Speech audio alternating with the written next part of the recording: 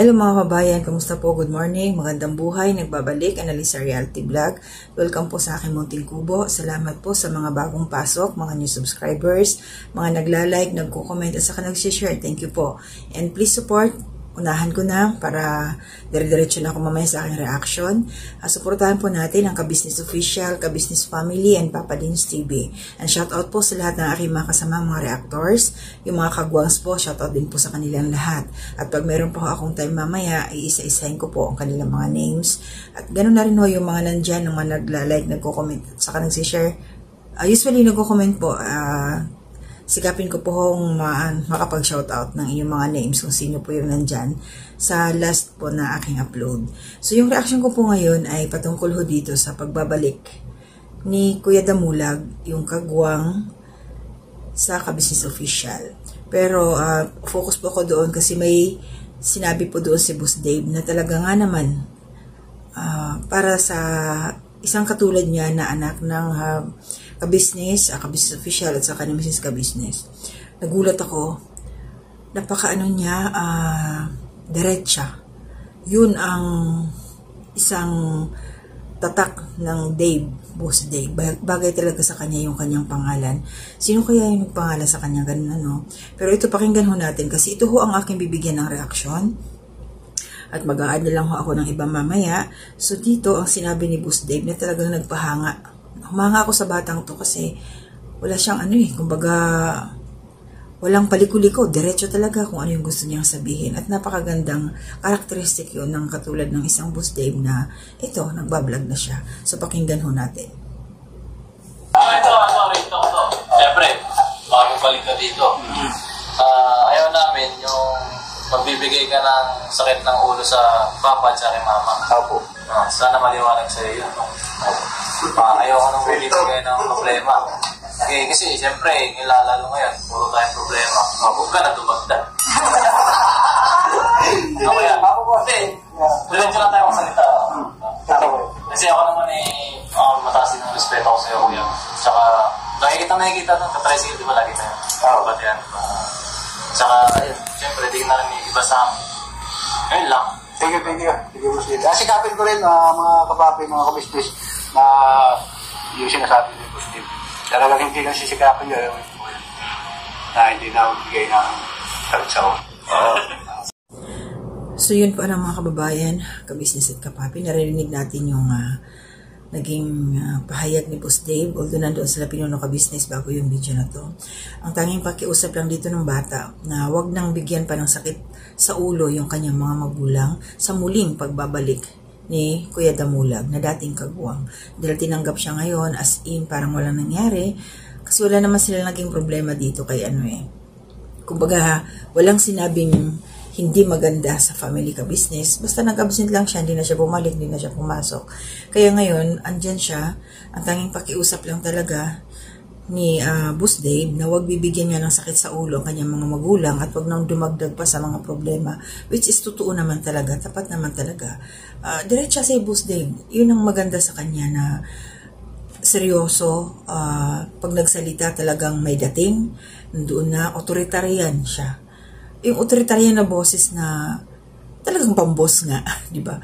Na once na narinig mo yung kanyang mga sinasabi, ang kanyang sasabihin, susunod ka talaga at ikaw na mismo ang mag-aalangan na yung respeto, yun, nandun yung respeto sa kanya. Nasa, nasa pananalitaan Boss Dave ang uh, hindi mo siya pwedeng laro-laruin. Pag sinabing trabaho, trabaho, kung ano yung gagawin natin, ganito yung gagawin natin. Nakita ko yung sa mga games kasi. Ano siya talaga, napaka-seryoso, napaka, sabihin natin, devoted din siya sa kanyang trabaho. So, ayan, uh, welcome back, Kuya Damo, dahil uh, andyan ka muli sa ka-business family. At sana nga uh, gawin mo yung sinabi ni Boss Dave na hindi ka magbibigay ng sakit sa ulo, sa ng sa kanyang mga magulang. Sa totoo lang ano mga kabayan, na ka-business at kapapi. Nung pagdating ni Kuya Damulag, hindi ko maiwasan na ano kaya, totoo kaya itong, ano, ano kaya mangyayari? Kasi mayroon na siyang YouTube channel. Hindi natin maiwasan alam kung marami tayo na nag-isip marami tayong nag-isip na, what if uh, kaya siya nagbabalik kasi yung YouTube channel niya, para makabisado niya, maturuan siya, tapos ah, yun yung ano, magamay ba niya? Tapos mamaya pag nasanay na, talikuran ng kabisnes, mabuti ka mo. Ito ha, disclaimer lang. Yun lang yung mga naisip ko nung una. Pero ngayon, habang tumatakbo yung vlog nila, yung video nila Pinuno Ka Business. So, dahil nga sa diretsahang salitaan, prangkahan, at kilala naman nila si Kuya Damulag kung paano din to magsalita. So, nag, nalinaw naman doon na gustong gusto niya talagang bumalik na ayon na sa kanya hanggang sa doon na daw siya mamatay. Grabe naman to si Kuya Damo. Uh, basta yung ano lang talaga, yung loyalty sa ka-business family. Yun ang importante. Tapos, uh, kung halimbawa Kuya Damo, eh, hindi naman masasabing talagang habang buhay, eh, hindi magbabago yung ating isipan. Kung sakali man, eh, matuto ka na magpaalam para hindi nakahang ang ka-business family. Kasi importante yun eh. Respeto din sa kanila kasi, syempre may sarili-sarili, may sarili-sarili tayo mga, uh, halimbawa, pamilya, mga pananaw sa buhay. So, yun. Uh, nakakatuwa lang kasi ito si Pinuno Ka Business. Basta, lagi siyang nagbibigay ng chance dun sa mga tao na kasamahan na nila dati. Nakapa, ano, pambihira yung mga ganyang ugali, ano. So, ano ka talaga eh ewan ko para sa sarili ko, mahirap magtiwala uli eh. Ganun yun eh. Ganun tayo. Siguro kayo rin yung iba dyan, mga nanonood sa ka-business family, ka-business uh, official, saka kay Papa din Stevie, kami mga nagre-reaction. Kahit sa personal na buhay natin eh, hindi tayo basta-basta magtitiwala, di ba? Pero to sila pinuno iba. Kasi syempre, ay pinagpapasa Diyos na lang nila kung ano man ang mangyayari. Ganun talaga eh. Pag ikaw eh, ano ka sa bayan mo sa ating Panginoon ang mga nangyayari sa ating kapaligiran, sa ating buhay, baliwala sa iyo. So, bahala na si Lord kung ano yung ano. Basta ikaw, gagawin mo lang kung ano yung nararapat, ano yung tapat sa iyong puso. Kaya na, nakakabilib itong pamilyang ito. Diba? Parang, para sa isang katulad natin, katulad ko, ewan ko lang, na hindi tayo basta-basta tatanggap ng mga mga katulad niya, siyempre mapapa-question tayo eh. Pero, iba tayo. Iba tayo, iba sila. Sila pinuno ka business. Sila yung ano eh, madali silang, uh, yung kalooban nila. Yun yun, mabait sila eh. Kaya, maraming ano, ayan, bumabalik. At, happy na uli ang family ka business ngayon. So, congratulations na Kuya Damo dahil uh, andyan ka na ulit. Um, makakatulong ka na sa mga bawat lakad ng ka-business family. Masaya na ulit ang ng grupo dahil ikaw ang ano eh. Dati, ano kaya yung tawag dito? Parang cartoons. King Koy. Ayun. Masayahing tao. Parang akala mo wala pinagdadaan ng problema. So yun lang yung reaction ko ano mga kabayan dahil lang doon kay Boss Dave na napaka-straightforward yung kanyang pananalita patungkol dito kay uh, Kuya Damo, walang paligoy-ligoy talaga na napahanga ako sa batang ito. Siguro kayo din. At ito yung ano, isang quality ng nagbablog na hanggat maaari, oo, iisipin natin na siyempre iiwas tayo doon sa hindi tayo makakasakit ng damdamin. Pero may, minsan talaga kailangan natin diretsuhin yung tao para yung intention niya kung ano talaga lumabas, di ba? Yun yun eh. Kaya, ah, salute ako sa iyo, Boss Dave. Haranaw, magtuloy-tuloy ang ganyang ano, uh, pag-uugali. Kasi maganda talaga yung diretsahan. Walang, ano, walang paligoy-ligoy. Uh, kung baga sa Bisaya, waray lipod-lipod, diretsuhan na, prangkahan na. Galing Boss Dave. So yun po, ano, uh, shout out sa inyong lahat, mga kababayan, ka-business kapapi. At uh, ito po, Ma'am Maria Luisa Cartalaba, good morning, shout out po. Uh, kabayan Julia Pardalis Vlog, shout out din po sa kabayan. And also, uh, uh, kabayan Jessie Lucas, shout out po, good morning. And Ate Ninette, good morning. Ate Marilyn, good morning. Ito po, nag... Uh, kagawa ako ng aking reaction ate. Uh, nabasa ko po yung uh, sabi mo nga, kumusta, kumusta kayo sa akin na bakit hindi na ako makagawa ng reaction. Uh, busy ako te kasi mahirap naman na hindi ko gawin yung trabaho ko dito na may iniwan sa akin eh. na gagawin para hindi ako maabutan ng aking mga amo na hindi ko pa natatapos. So, pag mayroon akong time, ito nakakapag-reaction po ako. Hindi, ako, hindi po ako titigil na mag-reaction hanggat meron akong oras dahil ito po yung uh, aking libangan na din at saka napapractice yung aking isip. Hindi ako, hindi na stagnant yung aking utak kasi wala ako makausap dito. So, ito yung aking paraan para uh, ma-share ko din kung ano yung uh, aking mga opinion dito sa aking mga pinanonood, sa mga sinusuportahan ko, katulad nila Pinuno Ka Business, na mga vlogger. So, instead na dyan ako mag-comment sa comment section kung ano yung aking opinion, ito po, nag-reactor po ako, nagre-reaction ako, para masabi ko naman kung ano yung gusto kong sabihin, kung ano yung nasa side ko regarding doon sa aking napanood na video magre-react po ako. So, yun yung pagkakaibahan natin. Ano, yung mga nasa, ano pala, ito, idadagdag ko lang. Sa sarili kong pangunawa, sa sarili kong uh, pang, pag-intindi o opinion, yung mga nasa comment section pala, nagbibigay kayo ng sarili ninyong mga opinion. Halos parehas lang tayo. Ang pinagkaibahan lang natin, ako naglalabas ako ng aking opinion, true sa pagbablog. Ibiniblog, ibinablog ko yung aking opinion, yung aking reaction doon sa aking pinanonood na video. So, yung nasa comment section kayo, kayo din ay nagbibigay ng sarili ninyong opinion. Yun nga lang, nandun kayo sa comment section. So, ako, ito yung aking paraan. Kaya sabi ko, magkukomment ako doon ang magkukomment. Makikipagbalitaktakan ako doon. Magsishare ako ng aking idea, ng aking knowledge doon sa comment section. Why not gawin ko na lang reaction? At least may video pa ako. Mababalikan ko to. Uh, anytime, syempre, tumatanda tayo. So, pag ako nakaraking chair na, meron akong panunuorin. Panunuorin ko yung sarili ko. Ay, ito pala ako noon. Ganito pala yung ginagawa. So yun po mga ka-business naming minamahal, nandito na po ang mga bagong produkto na iniendurso ng ka-business family.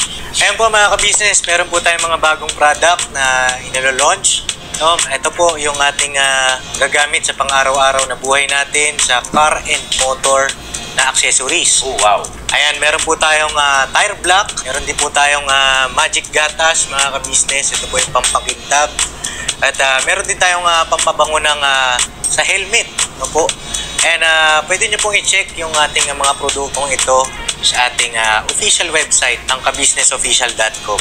Lahat po ito kinagamit ng kabusiness family at uh, yun, karentesadong uh, epektibo uh, kabusiness. Eh po, uh, mga kabusiness, uh, meron din tayo bagong produkto ngayon. Ito po ang warts removal. Uy! Po, yan.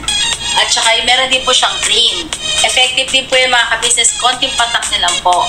Antayin niyo lang siyang matuyo at siguradong warts removal agad. Wow! At meron din po tayo hair grower. Ito po yung pang patubo ng buhok. buhok. Sa mga nagkakaroon po ng hair loss, try niyo po mga ka-business. Bukan ang ating hair grower. At meron din po tayong panibagong coffee. Ito po ang ating insulin coffee. Para po ito sa mga diabetic na person. Yan. Insulin green coffee with balaba, ampalaya, turmeric, mangosteen, agaricus, mushroom, moringa, lemongrass, clean coffee bean, and non-dairy creamer. At meron din po siyang stevia mga kabisnes. Super effective din po ito mga kabisnes sa mga diabetic po.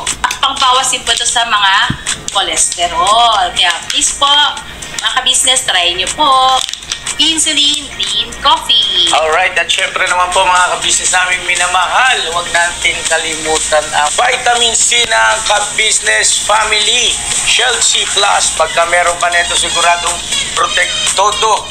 So right mga ka-business namin minamahal, ano pa inaantay nyo? Please, uh, bumili na kayo ng mga produktong inendorso ng ka-business family, hindi lamang para mapanatili ang good health ng buong pamilya, kundi syempre makakatulong pa tayo sa ating mga kababayan na higit na nangangailangan. Alright? Yes po, alright. At uh, meron pa, dadagdag ko lang mga ka-business, ano, kung gusto niyong pumuti at lalong bumabot, tumanda, meron po tayong bagong produkto, ang Bandara Revitalizing Set. Oh, wow. Yan. Abin nyo na po mga ka-business at uh, siguradong epektibo yun. So yan ang mga ka-business namin minamahal. Please avail natin ang mga produktong iniendurso ng ka-business family. So yun na, tuloy na panonood. Tira, banat. Nagawa ko. Siyempre, di ba, marerefresh yung isip mo. Kasi tayo habang tumatanda, yung isip natin hindi naman tumatanda yan eh. Yung ating katawang lupa lang eh. Yung ating physical appearance, yan lang yung tumatanda. Naniniwala ako yung ating isipan, nandiyan pa rin malakas yan. Malakas, pero yung katawan natin, syempre may limitation, nangihina tayo. Kaya ito, nagre-reaction ako para mailabas ko yung aking sariling opinion patungkol dito sa aking mga napapanood. At yung aking mga reaksyon, ano mga kababayan, ka-business kapapi, nagre-react lang ho ako kung ano yung aking nakikita, napapanood, at nar naririnig sa mga video. So, wala, hindi ko po saklaw yung mga behind the scene. So, ibig sabihin nun, kung ano yung nakikita ko, yun lang ang aking re-reactionan. So, kung mayroon man magko-comment dyan na, uh, bakit ganito, bakit ganon? Eh, siguro, sila yung mga personal nang nakasama. So, kami, ako, reactor, hindi ho. Kasi yung kung ano lang yung nakikita namin, yun ang re-reactionan namin. Hindi ho kami pwedeng maggawa-gawa ng kwento na hindi naman namin nakikita o hindi namin naririnig. So, yun po ako. Namin, ko pala, huwag na natin sabihin namin lahat, nilahat ko na eh. so, yun lang ho yung side ko ano as a reactor. Sasabihin ko yung sarili kong opinion, sarili kong reaction base doon sa akin na panood. So, yun. Malaya naman ho tayo magbigay ng ating uh, freedom malaya freedom of uh, ano ba yun, i-express natin kung ano yung mga gusto nating sabihin, malaya ho tayo. At wala hong tama, walang mali sa pagbibigay ng opinion. Dahil opinion po natin yun. So, yung mga nag, dyan po sa comment section, ay na-acknowledge ko po kayong lahat at nire-respeto ko rin po yung mga opinion ninyo, yung mga ikino-comment ninyo. At maraming maraming salamat po. So, ngayon, uh, ayos na tayo. So, God bless po sa lahat. Yung mga hindi ko pa na-shout out, maraming salamat. Alam ko, mga silent viewers, nandyan lang ko kayo nakasuporta sa akin. Maraming salamat kasi nakikita ko rin po ito doon sa, base doon sa ano, yung mga nag engage kasi may nakalagay naman yan eh. Uh, kaya maraming maraming salamat po sa inyong lahat. Yung mga hindi po pabor sa aking mga sinasabi, okay lang po. Maraming salamat sa inyo. At ang mas gusto ko nga ho yung ano eh, uh, sinasabi ninyo sa comment section kung ano talaga either negative or positive, okay lang. Shoutout po sa lahat ng mga bashers. diba? Siyempre, ano yan, eh, kasama kayo sa aking journey as a reactor. Pero ano ito, no, paalala, ano, paalala lang po sa aking mga nakasubscribe po sa akin dyan sa mga bago pa lang sa ating aking YouTube channel. So, nagre-reaction ho ako ngayon sa Ka-Business Official.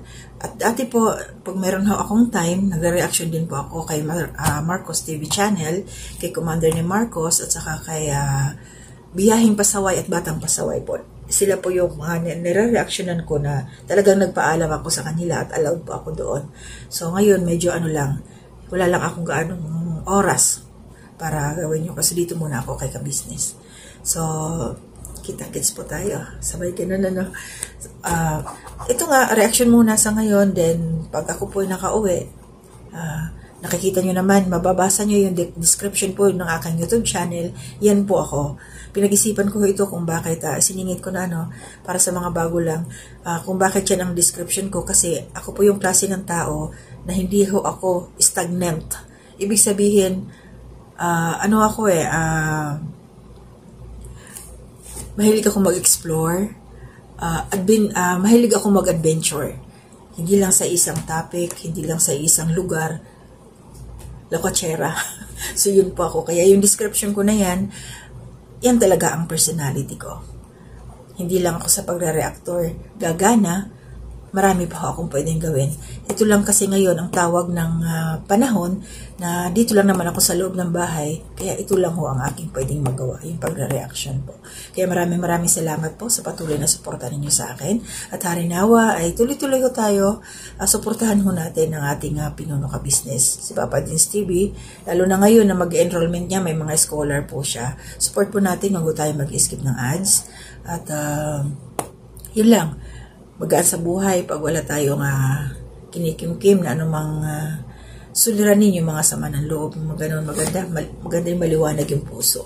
Di ba? So, marami pa akong gagawin. Eh, sa ngayon, hanggang dito na muna po. Mag-iingat po tayong lahat sa ating mga lakad, sa pagpunta sa trabaho, sa pagbibiyahe. Always pray po para proteksyonan tayo ni Lord sa anumang uh, ma-encounter natin na problema sa biyahe. Ingat po. lalo na ngayon natagulan yung mga nagmamaniho po, mag-iingat po kayo. And shout out po sa lahat ng aking uh, mga kapwa OFW, mga nanay, tatay, uh, mga katulad ko na nasa bahay ang trabaho, laban lang tayo mga kabayan para sa pamilya, kaya natin to. Para sa ekonomiya, hindi lang sa bansa ng Pilipinas, kundi siyempre sa ating pamilya talaga. So, ingat po tayong lahat, ano? To God be the glory.